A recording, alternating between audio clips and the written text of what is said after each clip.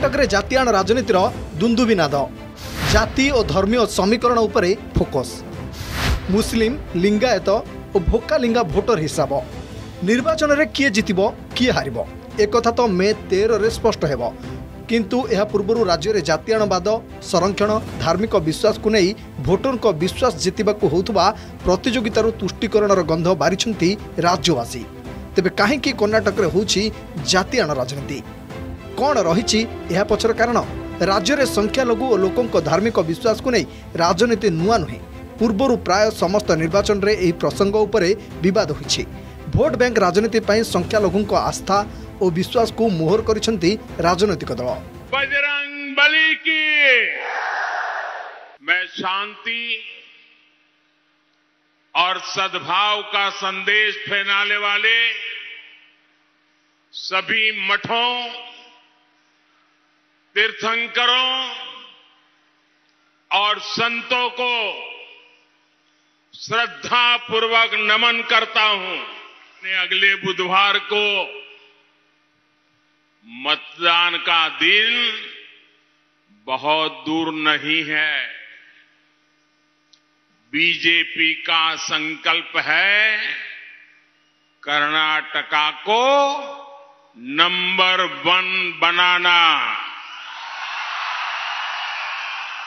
कांग्रेस आपका एक वोट इसलिए चाहती है कि बीजेपी सरकार के फैसलों को जनहित की योजनाओं को यहाँ के लोगों के कल्याण के लिए जो काम किए हैं उन सबको पलटना चाहती है Prime Minister is repeatedly coming and Shahaji also repeatedly coming. Therefore, the Congress has got good chances to win.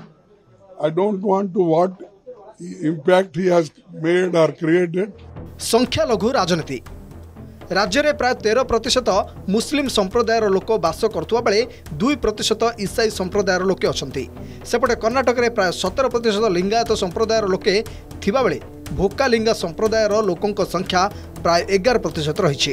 ଆଗାମୀ ନିର୍ବାଚନରେ ଆଞ୍ଚଳିକ ଦଳ ଜେଡିଏସ୍ ପ୍ରାୟ ବାଇଶ ପ୍ରତିଶତ ଟିକଟ ଭୋକାଲିଙ୍ଗା ବର୍ଗକୁ ଦେଇଥିବା ବେଳେ କଂଗ୍ରେସ ପ୍ରାୟ କୋଡ଼ିଏ ପ୍ରତିଶତ ଟିକଟ ଦେଇଛି।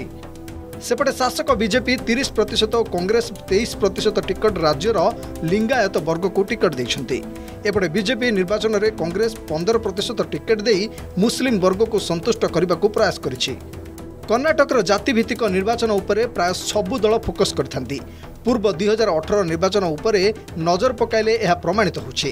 ଦୁଇହଜାର ଅଠର ନିର୍ବାଚନରେ ଅଠସ୍ତରୀଟି ଲିଙ୍ଗାୟତ ବହୁଳ ଆସନରୁ ସଇଁତିରିଶ ପ୍ରତିଶତ ଆସନରେ ବିଜୟୀ ହୋଇଥିଲା। ଏହା ସହିତ ଭୋକାଲିଙ୍ଗା ବହୁଳ ଚଉରାଳିଶଟି ଆସନରୁ ବାରଟି ଆସନରେ ବିଜୟୀ ହୋଇଥିଲା ବିଜେପି। ସେପଟେ ଜେଡିଏସ୍ ମଧ୍ୟ ଭୋକାଲିଙ୍ଗା ସମୁଦାୟ ପ୍ରବଣ ଅଞ୍ଚଳର ବାଇଶଟି ଆସନରେ ବିଜୟୀ ହୋଇଥିଲା। କେଉଁ ବର୍ଗକୁ କେତେ ପ୍ରାର୍ଥୀ? ଦୁଇହଜାର ତେଇଶ କର୍ଣ୍ଣାଟକ ନିର୍ବାଚନରେ ଅନୁସୂଚିତ ଜାତିକୁ ବିଜେପି ସର୍ବାଧିକ ଅଠତିରିଶଟି ପ୍ରାର୍ଥୀ ଦେଇଥିବା ବେଳେ କଂଗ୍ରେସ ଛତିଶ ଓ ଜେଡିଏସ୍ ଏକତିରିଶ ଜଣ ପ୍ରାର୍ଥୀ ଦେଇଛି ରାଜ୍ୟରେ ଏସ୍ଟି ବର୍ଗକୁ ବିଜେପି ତିରିଶ ପ୍ରତିଶତ କଂଗ୍ରେସ ତେଇଶ ପ୍ରତିଶତ ଓ ଜେଡିଏସ୍ ମାତ୍ର ଚଉଦ ପ୍ରତିଶତ ପ୍ରାର୍ଥୀ ଦେଇଛି କଂଗ୍ରେସ ପନ୍ଦର ଜଣ ମୁସଲିମ ପ୍ରାର୍ଥୀଙ୍କୁ ଟିକେଟ୍ ଦେଇଥିବା ବେଳେ ଜେଡିଏସ୍ କୋଡ଼ିଏ ଜଣ ମୁସଲିମଙ୍କୁ ପ୍ରାର୍ଥୀ କରିଛି were let off by Siddaramaya government. And after that, they unleashed a reign of terror in Karnataka's districts. More than 28 activists, workers belonging to various Hindu organizations were brutally murdered. Which chief minister, sensitive to the state's security, having the responsibility of protecting every single person belonging to every religion, महंगाई इतनी बढ़ चुकी है कि आप जैसे मैंने कहा कुछ खरीद ही नहीं पा रहे हैं किसान त्रस्त है परेशान है हर तरफ़ से उसकी परेशानी बढ़ी रही है। जीएसटी जीएसटी कर करके इतनी महँगाई बढ़ा दी है कि छोटे दुकानदार ही अपने अपने आप परेशान हैं। These are all the end Congress has trust in the Congress party there is a deficit of trust between the people and the Congress that is the problem So these are all the bundle of lies. Muslim reservation, they can't do it. There is a Supreme Court direction. But by telling this, they are trying to once again appease and uh, they are trying to do unconstitutional thing. And for the want of Muslim votes, they are unnecessarily, which is impossible task, they are saying that we are going to do it. This is number one. More important is banning of um, their uh, agenda of banning Bajrang Dal. And it is a, in a way they are trying to equate Bajrang Dal and PFI. PFI is a anti-national organization and in the notification and it is a proven fact that reason for the MHA uh, to ban the PFI and its allies have been indulging in unlawful activities prejudicial to the integrity, sovereignty and the security of the country.